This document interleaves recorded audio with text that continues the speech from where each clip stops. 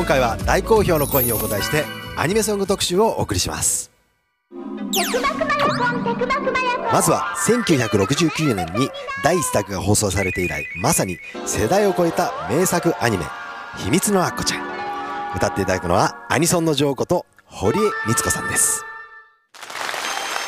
テクマクマヤコンテクマクマヤコンアッコちゃんにな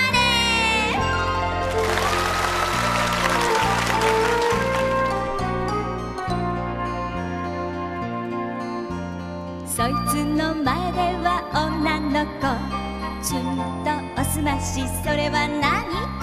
それは鏡鏡の中からツンツン。ツンシンデレラ姫が現れたツンツンツンそれは誰それは秘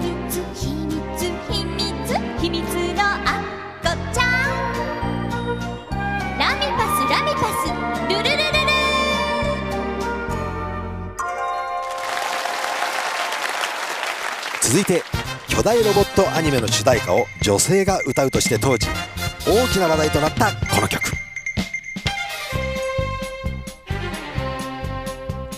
たとえ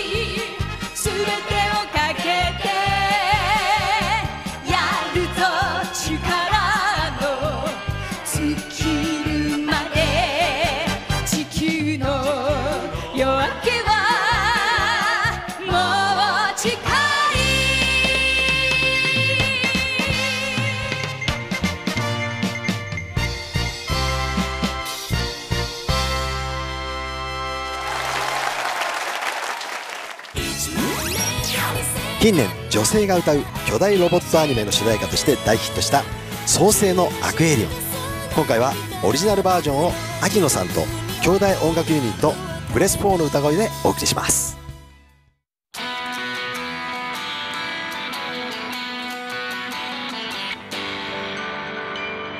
世界の始まりの日。命の木の下で。口たちの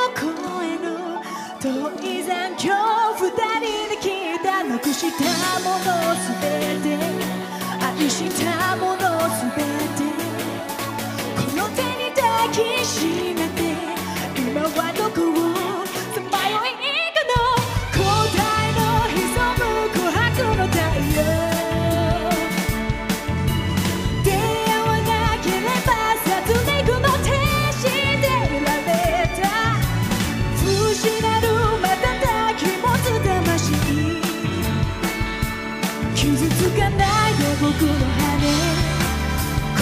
羽この気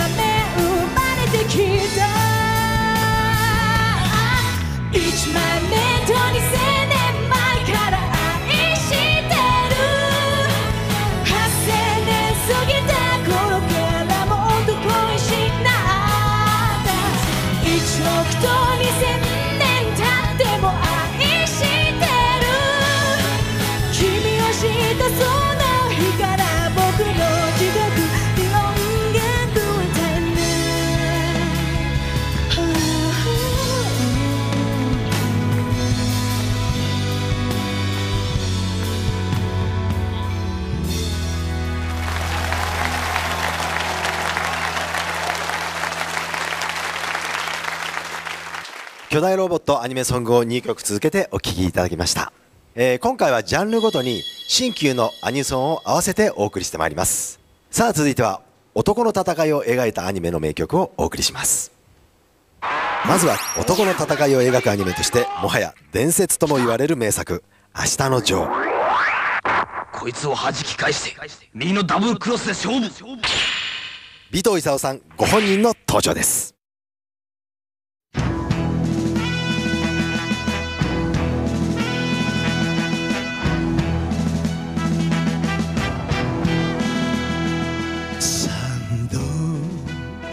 バッグに浮かんで消える憎いアンチクショ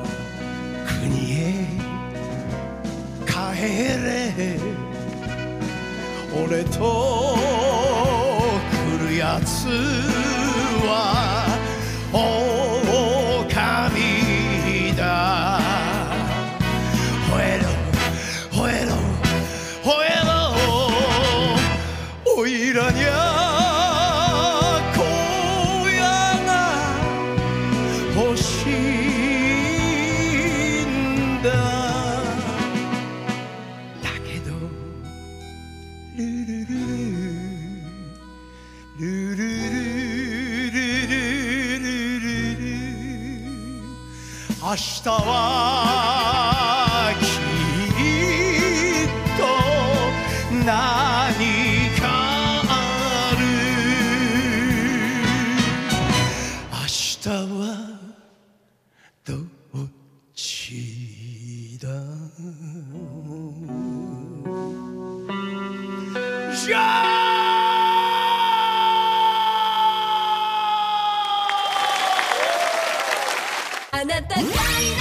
着物をまとい刀を武器に戦う少年の活躍に世界中が熱狂。アニメ「ブリーチ」のオープニングソング「少女」です。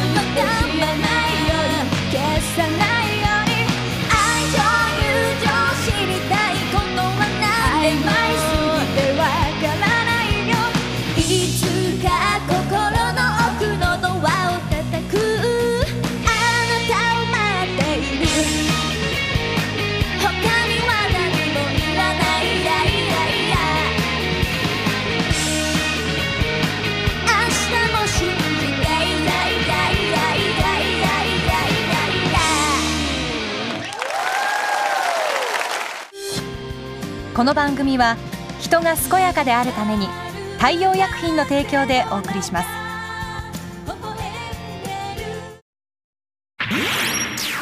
アニメソング特集続いてはロボットアニメの金字塔「機動戦士ガンダム」カラオケソングとしても定番のこの曲からどうぞ。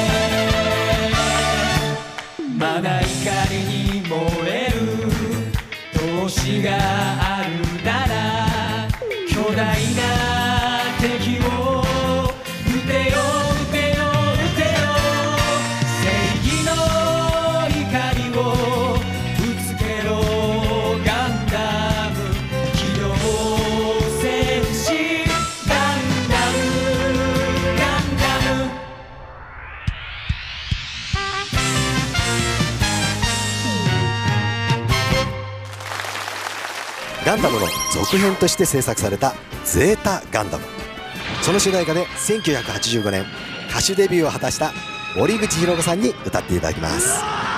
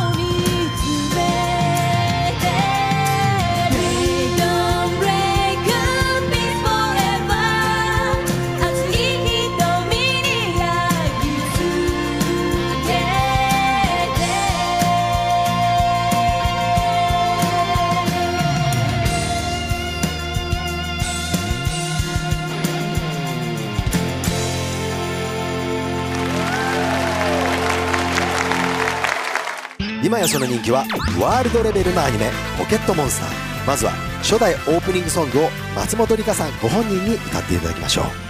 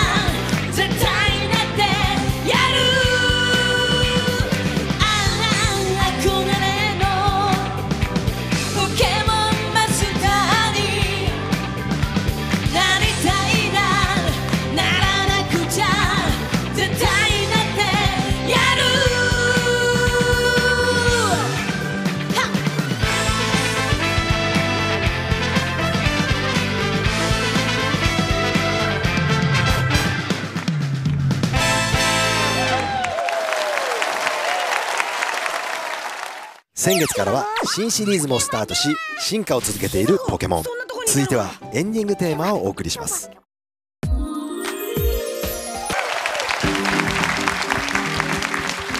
えーアニメの定番としてですね不思議な力を持つ女の子っていうのがありますよね、そうですね、やっぱり魔法少女ものはアニソンの中では欠かせないですね。じゃないですか、ねしょこたんね。はいたまらないです。心が震えてたぎってそして泣ける。感動する。最高でございます。魔法少女の世界は。シャコタンちょっとさかなクンみたいになってますよ。かなり熱く語りますので。1983年の放送当時女の子たちの心を虜にした魔法の天使クリーミーマミ。近年また人気が再燃。時代を超えた少女たちのカリスマアニメ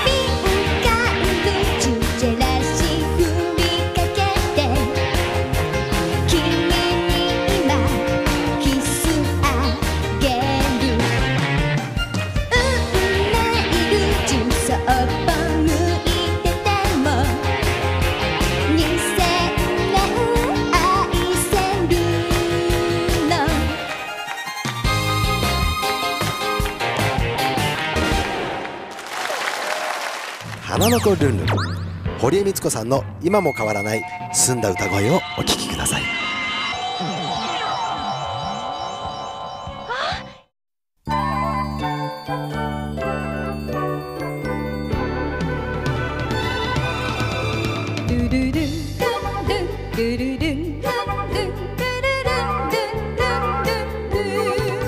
幸せをもたらすと言われてるどこかひっそり咲いている花を探して花を探しています。コスモスは帽子に似合う。タンポポはお昼寝枕。アカシアのアーチを抜けて歩いて行きましょう。私は花の子です。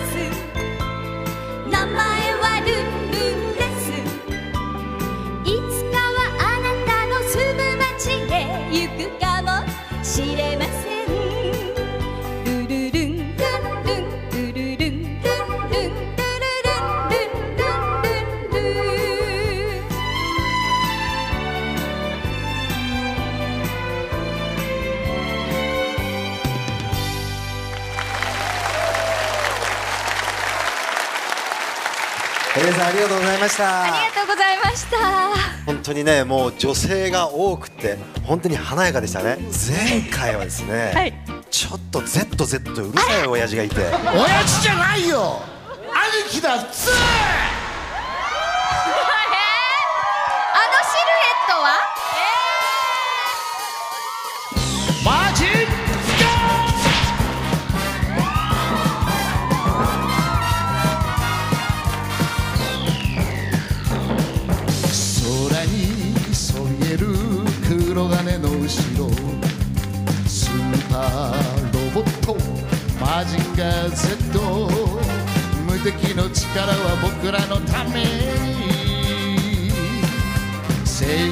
心をファイルだおー飛ばせ鉄拳ロケットパンチ今だ出すんだブレストファイヤーマジンゴーマジンゴーマジン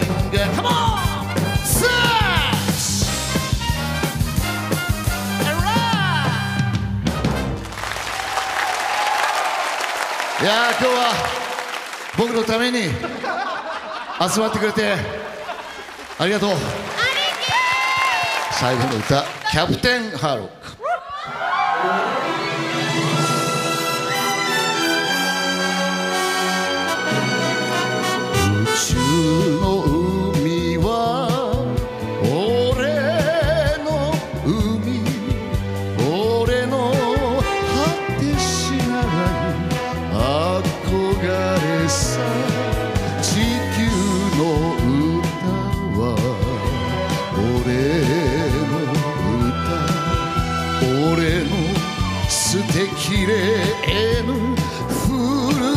とさ遠いよ明日のない星としてもやはり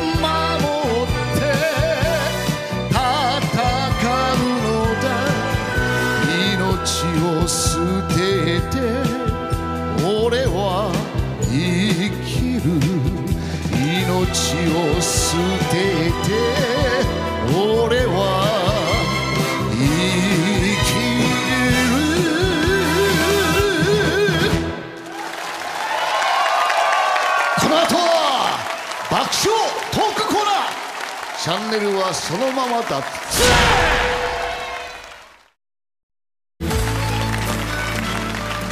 いやー最後は結局兄貴に持ってかれましたね。いやいや今日かけてたんですよ。皆さん失礼と思いながらの寸劇に、いやもう私ですね子供の頃からもう堀江さんとか兄貴とか尾藤さんの歌声で育っててもう住んでた緑荘の匂いが蘇る。わ本当に歌も上手だし顔も綺麗だしスタイルもいいし性格も明るいしなぜ結婚できないんですかね。ですかね、できできないんじゃなくてしないしないんですよ。しないのね。しないあのしないじゃなくてねできないのは確かです。ちょっと待って兄貴などういう意味ですか？やめてくださいよ。この番組は人が健やかであるために大洋薬品の提供でお送りしました